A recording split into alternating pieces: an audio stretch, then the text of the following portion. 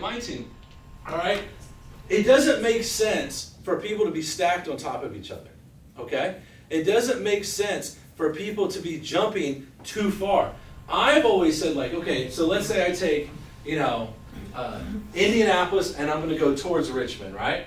So what I'm going to do is take US 70, right, or US 40, right? So you're going to take that 70, and what I'm going to do is kind of maybe draw a, you know, 15 mile radius off of 70 above it and below it, right, all the way across. And I'm going to say, okay, my team, let's prospect this whole area. And here's why. I'm going to be out here with you, right? But if I'm in Knights, uh, Green, like, was it Greencastle? Not Green Greencastle, what's the other one out there? Greenfield, right? And you say, hey man, I got this good follow up over here in like Connersville.